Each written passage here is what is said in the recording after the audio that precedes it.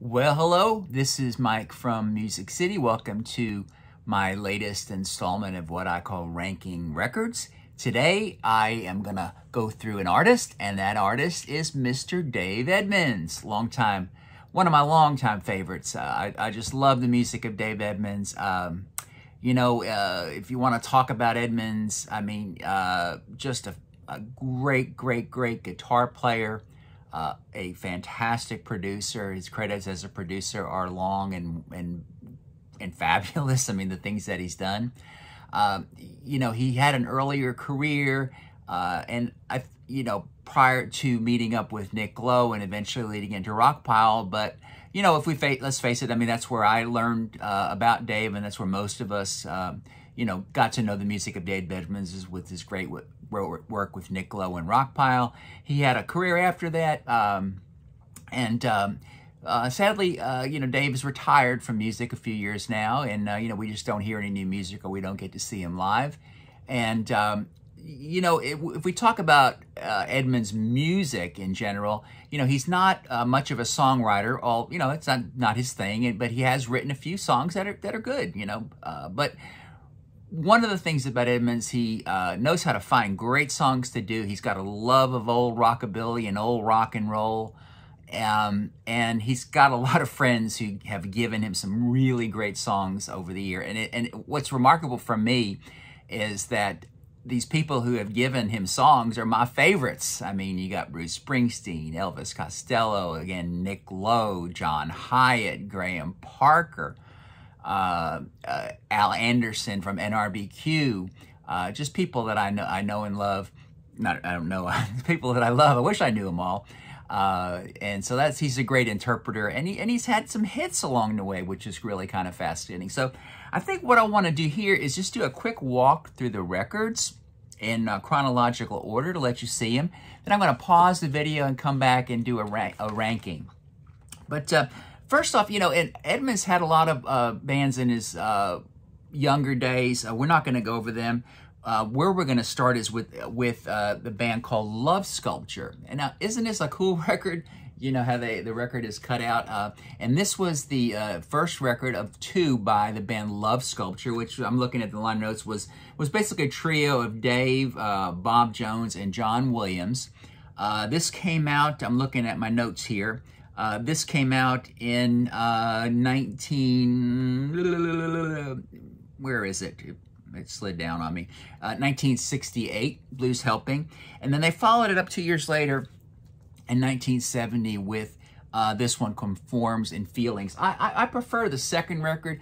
This one, you know, kind of bluesy, pub rocky. Uh, here, a little bit more uh, rock and roll. And then now, there are is something on this record uh, that's very familiar to you, and that's Edmunds' interpretation of the classical piece, and, piece, and let me get this name right, by Khachaturian, is that correct? Uh, called Saber Dance, uh, just an instrumental where Edmunds just goes crazy on guitar, and uh, if you uh, if you hear it, you're gonna you're gonna recognize it. It's it's kind of one of these things that's made a lot of TV soundtracks and things like that as as background music and closing music. But um, the real discovery for me on this record when I was playing it uh, is this song, and I'm going to open it up because I want to show you the cool uh, Parlophone label. Uh, but this song called People People, just a gorgeous song. Go go give it a listen. Uh, very uh, British pop, uh, you know, uh, British invasion poppy sound. And it and the thing about it is, I had to see who it was written by, and it was written by the duo of Finesilver and Ker, who I've never heard of. And when I did some digging on them, they've got two claims to fame. The other song that they wrote, they didn't write very many songs, but they also wrote a Fire for Arthur Brown. You know that song, I am the God of Hell, I give you fire. Well, he wrote, they wrote that song together. And also, uh, Finesilver, and I'm not sure if it was with Ker, but he is the was the proprietor of Pathway Studios in London uh, owner and proprietor of Pathway Studios, where Nick Lowe recorded all the great Elvis Costello records. Squeeze recorded there, just this little hole in the wall studio in London. So that, that's that's kind of kind of fascinating. Now we're not going to rank Love Sculpture, so we're going to kind of put these aside and maybe just go a little bit quicker through the through the Edmunds records here. But the first record, and oddly enough, uh, in 1972, look at the name of it, Rockpile, and that's of course where the band name uh, comes from.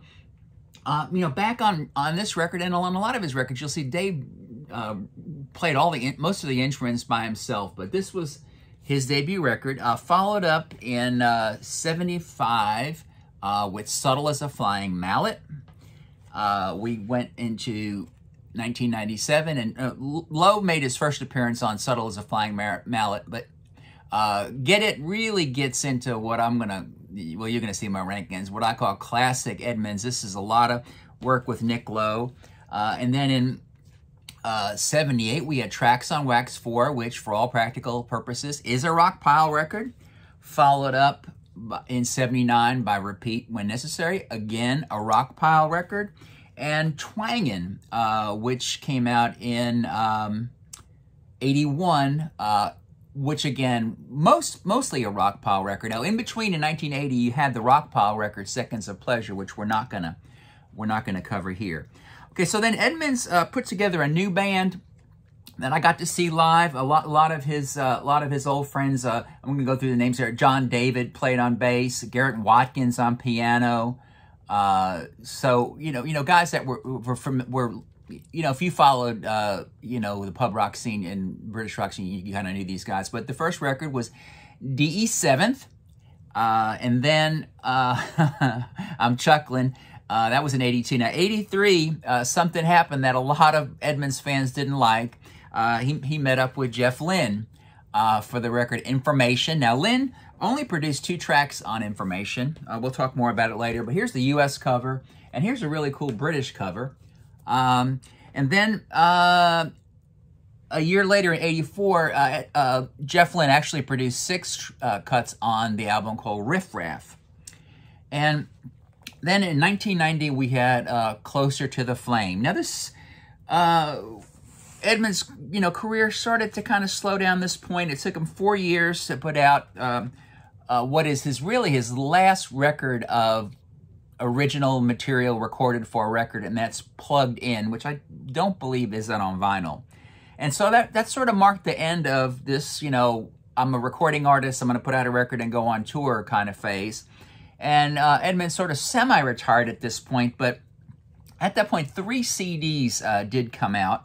And again, all worthy, uh, we're not going to rank these, uh, because for the most part, they're collections of odds and sods or things that he recorded at home, uh, you know, to on you know all by all by himself, playing all the instruments. Some of them he, he found old tracks and put them together, re-recorded some things. So not you know proper albums per se. But the first one that came out was uh, this handpicked music fantasy, fantasy, musical fantasies in 1999, uh, which you had to buy on his website, and I missed it. And I found a copy on eBay at a pretty good price. And the cool thing about it, it's autographed by Edmund. So if you can find one, you might want to try to find one. And uh, then, then uh, in 2013, wow, 14 years before he put something else out, and he put out this record called Again, which uh, British import only. I picked this up over in London. I got it down at Rough Trade, and it was really hard to find at the time. And again, uh, you know, a couple of songs he wrote on here, a couple of songs he was given, but again, mostly odds and sods, not a, a proper album per se. And then the final bit of recording uh, from Edmunds uh, is this on guitar, uh, Rags and Classics, which is all instrumental versions. Now, you read the liner notes, you're going to chuckle because Edmunds says, hey, uh, I didn't I didn't just go rob all the backing tracks uh, and lay guitar on top of them he uh, actually recorded all of everything by himself and then went in and put guitar over it. Now, here is a question for my smart viewers. I've often wondered this, and maybe I just haven't looked in the right place, but what do you call it? Like, for example, on this record is a whiter shade of pale. What do you call it when you take a backing track and you make a guitar track that follows the instrumental? Um, excuse me, follows the vocal. So you're doing an instrumental take over the vocal. You know, because if you played just the backing, regular whiter shade of pale without the vocals, it's not going to sound like what Edmunds is playing because he's mimicking the vocal with his lead guitar. There's got to be a name for that somewhere, but I don't know what it is. But anyway, so that's sort of the um, Edmunds au revoir. Is that the right word? Sounds good anyway. And uh, as I mentioned, we'll uh, put Love Sculpture and those CDs aside, and we're going to come back uh, in a minute. I'm going to shuffle these records and and rank them in uh, the order of my favorite to my least favorite. So just hang on just a sec. Okay, I'm back to uh, rank the records of Mr. Dave Edmunds, and uh, we've got 10 here. I put aside the plugged in uh, on CD. And we're going to just rank the 10 that I have on vinyl. I wouldn't have ranked plug in very high anyway. But uh, let's let's go through this. And at number 10, uh, we're going to have uh, Subtle as a Flying Mallet, which is Dave's second record. I, I wasn't too wild about this record for one reason, you know, we know, uh, we've talked about how Edmunds is an interpreter and loves old stuff. And on this record, what you have is you have a couple of, uh, you know, oh, three or four, three or four versions of, of all Phil Spector songs. And I just don't think it's uh, Edmunds' best style. And why, why did he do those songs? And they're almost sort of note for note recreations of, you know, songs like Baby, I Love You and Da Doo Ron Ron. Uh, they were made for this movie uh, called Stardust with David uh, David Essex. It's a great movie. It's actually two parts. There's a prequel called That'll Be the Day in Stardust about a, a fictional rock band uh, in the movie called The Stray Cats. Ah, interesting. That Edmunds was in the movie and a member. And also there's a brief appearance of Nick Lowe in this movie as well too. But again, um, you know, uh, just, uh, I don't know, just not the best selection of songs that I think Edmunds has picked to cover. Um, Number nine is going to be uh, Riff Raff, one of his uh, later records in the career, the one with six uh, uh, Jeff Lynne produced songs on it. Uh, you know, just um, again, I really just a question of songs. This is really just nothing that really jumps out at me. Uh, probably the most recognizable track uh, when I went back and listened that I remember was he does a cover of uh, I think it's an old Four Tops song called "Something About You." But again, uh, again, just not at the top of my Edmunds list. As is number eight, which is Closer to the Flame. Uh, the, the, title track's not a bad song, uh, but again, again, it, a lot of it just boils down to me with song selection. Just nothing, uh, you know, just uh, that absolutely jumps out at me um, at me from this record that uh, you know I want to hear again and again. now, number seven. Um, you know, again, we talked about the curse of Jeff Lynne, how people just don't like him. Uh, I got to admit, though, that on the information record, the two tracks that uh, Lynne produced, I to me, they're two of my favorite Edmunds songs. I love the title track, Information, and another song called Slipping Away. I, I think they're great. Uh, you know, I don't personally dislike Jeff Lynne and ELO. I, I, I enjoy it.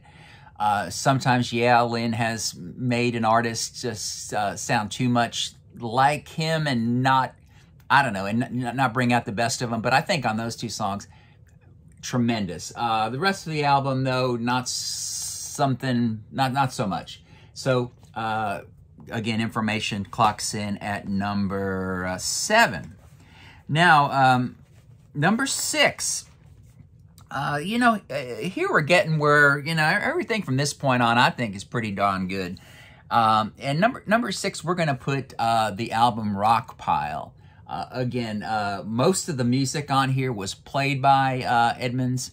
Uh, most of the instruments. This is his debut record. And it, what's interesting about this, two things. Uh, the lead up track is Down, Down, Down. You know, uh, I got a train to catch, you know, a, a, girl to fetch. You know, that was the opening song of almost every Rockpile set that I've ever seen. So that's just kind of interesting, you know, the band Rockpile. And it's also got on here Edmunds' biggest U.S. hit ever. Do you remember his cover of I Hear You Knockin'? Yes, it was all over the AM radio, and we sort of heard of Edmunds, and then he went away for you know a good a good ten years before the Rockpile resurgence. So uh, that makes that those two songs in itself make this a great record, and a couple other good covers on here. Some Chuck Berry, uh, some Dylan, even. Uh, uh I, I, I enjoy this record quite a bit. Now we get to the top five. Number five is going to be Twangin', as we mentioned, uh, a partial Rockpile album. Got a great cover of a John Hiatt song, Something Happens. Uh, Almost Saturday Night, which was pretty close to the time when Fogerty had uh, put it out well too. And it's also got something really cool on here, um, the uh, a version of The Race Is On, uh, the old song that George Jones uh, made popular that he records with the Stray Cats. I remember Dave Edmunds produced the first Stray Cats record, so that's sort of the connection there. But uh, great record, twanging. Uh, number four, DE Seventh, uh, his seventh album, and I tell you what makes this. Uh, Bruce Springsteen just gave him the perfect song for Dave Edmunds from Small Things, Big Days. uh, One Day Come. Show Bruce does it live in his set today. Edmunds just nailed it, owns it. Uh, Me and the Boys, a great NRBQ cut. Uh, Warmed Over Kisses, Leftover Love is a great one. I really like the song Paula, Meet Jeanne, uh, which was written by a guy named Jude Cole, a singer-songwriter who uh, joined the band The Records for their second record. Uh, I just think, I think this is a fine, fine, fine record. Now, the next three, I tell you something, on any given day, I could probably change the order of these three. I think these three are Edmunds at his absolute best. I think both, all three are classic, classic records. And at number three, I'm going to go with Get It. Um, gosh, I mean, uh, this is when Nick and Dave really connected. And you got probably my favorite Edmunds song, Here Comes the Weekend. You know, uh, kind of channeling the Everly Brothers there a little bit, you know, with that song. I, I just love it.